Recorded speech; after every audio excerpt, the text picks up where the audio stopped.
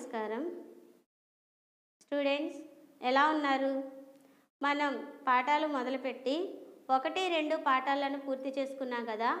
మరి తొమ్మిదవ తరగతిలోని మన మూడవ పాఠ్యాంశం స్వామి వివేకానంద. మరి స్వామి వివేకానంద గురించి చాలామందికి తెలిసే ఉంటుంది కదా?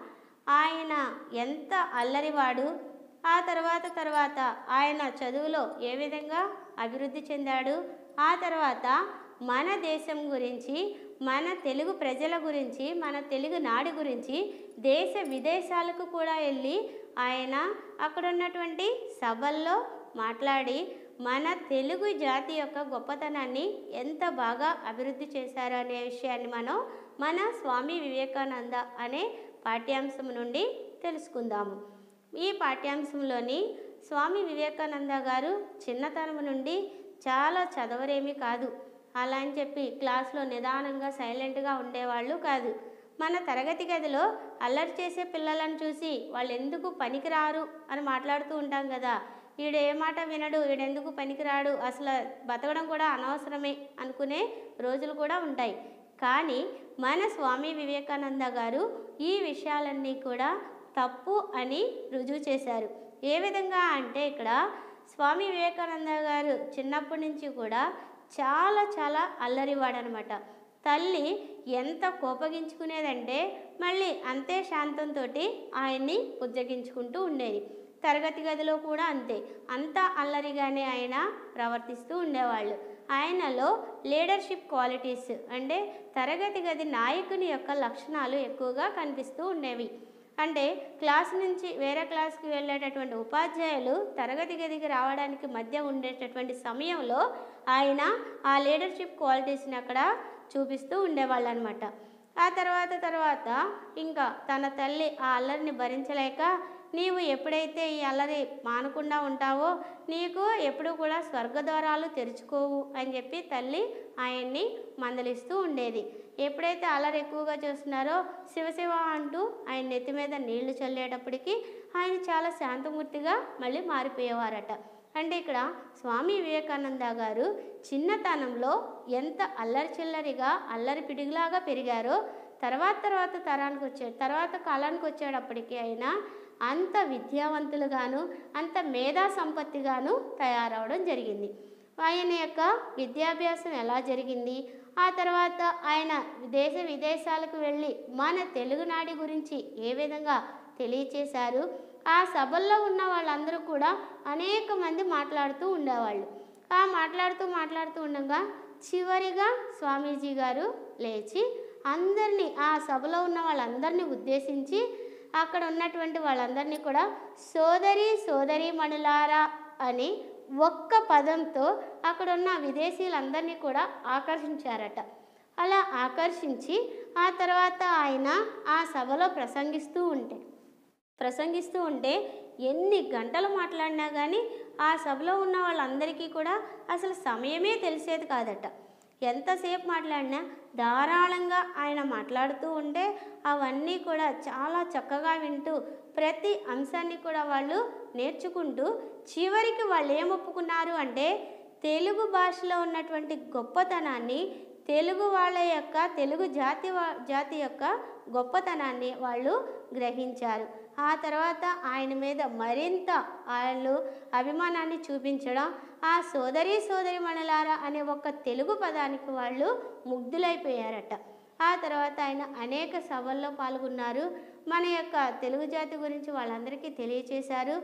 ఆ తర్వాత చివరికి ఆయన మన తెలుగు జాతికి ఏమేమి కావాలో అభివృద్ధి చేయాల్సినటువంటి ప్రతి పనులను గురించి ఆయన తెలియచేసి ఆ పనులన్నీ కూడా పూర్తి చేయడం జరిగింది.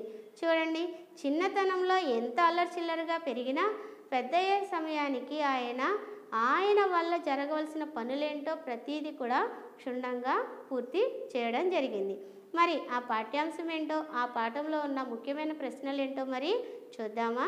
స్వామి వివేకానంద భారతీయ ధర్మం అన్ని మతాల్ని అంగీకరిస్తుందని గౌరవిస్తుందని అన్ని మతాలు సత్యాలేనని అవన్నీ భగవంతుని చేరుకోవడానికి మార్గాలని స్వామీజీ చెప్పారు.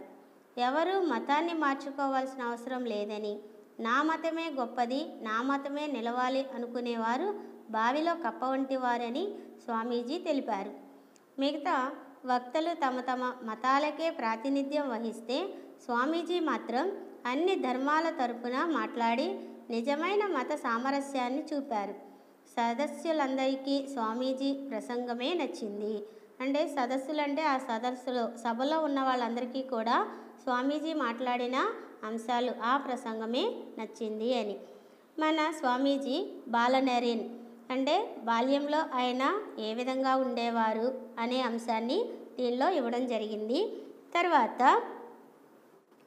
పాఠశాలలో ఆటల మైదానంలో ప్రతి దానిలో కూడా ఆయనే ముందంజలో ఉండేవాళ్ళు. పాఠశాలలోని ఆయనే అల్లరి చిల్లరిగా ఉండడం తర్వాత ఎంత అలర్ట్ చేసినా కానీ విద్యాభ్యాసంలో మాత్రం ఆయన ముందుండేవారు. తర్వాత అలా చదువుకునే వాళ్ళకి ఆటలు రావంటారు కదా కానీ మన యొక్క ఈ యొక్క బాలనరేను పాఠశాలలో అంటే క్లాస్ రూమ్లోని ముందంజలో ఉండి అదేవిధంగా ఆటల మైదానంలో కూడా ముందంజలోనే ఉండేవారు. తర్వాత యువనరేన్గా పాఠశాల విద్య పూర్తయిపోయిన తర్వాత కాలేజీలో చదువు చదువుల కోసం అని చెప్పి వెళ్ళి ఆయన ఆ యొక్క చదువుల్లో మొగ్గు చూపడం ఆ తర్వాత ఇంతెంత వట్టిడింత అన్నట్లుగా ప్రతి పరీక్షలో కూడా మొదటి శ్రేణిలోనే ఉత్తీర్ణులు అయ్యేవారు.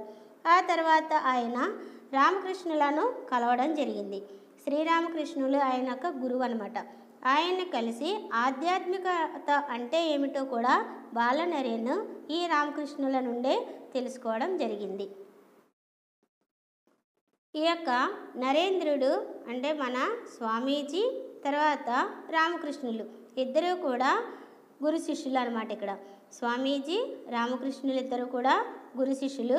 ఆ యొక్క రామకృష్ణ పరహంస తర్వాత స్వామి వివేకానంద వీళ్ళిద్దరూ కూడా ధ్యాన స్థితిలో ఉన్న గురు శిష్యులు. ధ్యానంలోనే ఎప్పుడూ కూడా సమయాన్ని గడుపుతూ ఉండేవారు. తర్వాత కాశీపూర్లో. కాశీపూర్లో తమ తండ్రి మరణం జరగడం జరిగింది అక్కడ ఆ తర్వాత అక్కడ ఎక్కువ కాలం ఉండలేక ఆ తర్వాత ఇక దేశ పర్యటనకి మొదలుపెట్టారు. ఈ దేశ పర్యటన అంతా పూర్తి చేసుకొని వివిధ ప్రాంతాలకు వెళ్ళేవాళ్ళు అక్కడ అనేక సభల్లో పాల్గొనేవాళ్ళు మన యొక్క విశ్వమత సభలన్నీ కూడా ఏ విధంగా తెలియజేస్తున్నాయో అక్కడ మాట్లాడుకోవడం కూడా జరిగింది. ఆ తర్వాత అమెరికా కూడా వెళ్ళారు ఆయన. అమెరికా దేశంలో సకల మతాల మహాసభ ఒకటి జరగబోతుందని. అక్కడికి వెళ్ళి ఆ సకల మతాల మహాసభలోనే అక్కడ ఆయన అనేక అంశాల మీద చర్చించడం జరిగింది. కులమత విభేదాలు లేకుండా ఆయన మాట్లాడేవారు. చివరిగా ఇక్కడ షికాగో. షికాగో ప్రాంతానికి వెళ్ళి విశ్వమత మహాసభల్లో ఈయన మాట్లాడారు. అసలు ఈయనకి అవకాశం వస్తుందో లేదో అని భయపడ్డారు. కానీ ఇక్కడ చూస్తే మన స్వామి వివేకానంద గారు వస్తుందో లేదో అవకాశం ఇస్తారో లేదో అనుకున్నారు. కానీ ఆయన మాటల దాటికి వాళ్ళందరూ కూడా ముగ్ధులైపోయి ఎక్కువ సమయాన్ని ఆయనకే ఇవ్వడం జరిగింది. తర్వాత భారతదేశం స్వామీజీకి బ్రహ్మరథం పట్టడం. అంటే ఈయన విశ్వమత మహాసభల్లో మన తెలుగుదేశం గురించి తెలుగునాడు గురించి అంత గొప్పగా పేరుగాంచినందుకు గాను ఆయన తిరిగి భారతదేశం వస్తుంటే ఆయనను అనుసరించడం కోసం అని చెప్పి ఆయనకి స్వాగతం పలకడం కోసం అనేక మంది అక్కడ బ్రహ్మరథం పట్టడం జరిగింది. ఆ తర్వాత కలకత్తా నగరం. ఇక్కడ ధర్మ ప్రచారంలో స్వామి వివేకానంద అంటే ధర్మంగా న్యాయంగా అన్ని మతాలు ఒకటే అని చెప్పే విధంగా ఆయన అన్ని మతాల గురించి ఆయన యొక్క సామరస్యాన్ని చాటుకున్నారు అని చెప్పడం జరిగింది. తర్వాత కలకత్తా ఉత్తర భారతదేశం ఇవన్నీ అనేక ప్రదేశాలు తిరిగి ఆయన అనేక రకాలుగా సందేశాలను ఇవ్వడం జరిగింది. చివరి రోజులు ఈయన అన్నీ తిరిగి తిరిగి చివరికి పంతొమ్మిది వందల డిసెంబర్ నెలలో స్వామీజీ బేత బేలూరు మఠంలో ఉన్నారు. చివరికి ఆయన బేలూరు మఠానికి చేరుకున్నారు. ఇంకా అక్కడి నుంచి ఆయన కొంచెం అనారోగ్యానికి గురవ్వడం జరిగింది. ఆ తర్వాత శరీరాన్ని త్యజించడం. స్వామీజీ వారి యొక్క ఆరోగ్యం పూర్తిగా దెబ్బతింది. ఆ తర్వాత చివరి రోజుల్లోని బేలూరు మఠంలో గడిపి తుది శ్వాస వరకు ప్రజలకు ప్రజలను చైతన్యపరుస్తూ వారి కోసం సేవలు చేయడం జరిగింది. దీనిలో కొన్ని ముఖ్యమైన ప్రశ్నలను పెడతాను. జాగ్రత్తగా చదవండి. మన వర్క్ బుక్లో ఎనభై ఆరో పేజీలో ఉన్న నరేంద్రుని బాల్యం విద్యాభ్యాసం గురించి రాయండి. నరేంద్రుని యొక్క బాల్యం విద్యాభ్యాసం. ఎనభై ఆరో పేజీలో ఉన్న ఈ ప్రశ్నని క్షుణ్ణంగా చదివినట్లయితే ఆయన యొక్క బాల్యం గురించి తెలుస్తుంది. తర్వాత వివేకానందుడు అమెరికా పర్యటన విశేషాలు. అమెరికా వెళ్ళారు. సభల్లో మాట్లాడారని చెప్పాం కదా. అమెరికాలో ఉన్నటువంటి సభల్లో ఆయన ఏ విధంగా మాట్లాడారు అనేది అమెరికా యొక్క పర్యటన విశేషాలను పేజీ నెంబర్ ఎనభై ఏడు ఎనభై ఏడులో మనం క్షుణ్ణంగా చూడవచ్చు. చివరి ప్రశ్న వివేకానందుడు జాతికి ఇచ్చిన సందేశం రాయండి. మన జాతికి ఆయన ఏ విధమైన సందేశాన్ని ఇచ్చారు? ఈ మూడు ప్రశ్నలను మనం జాగ్రత్తగా చదివినట్లయితే ఈ పాఠం క్షుణ్ణంగా అర్థమవుతుంది.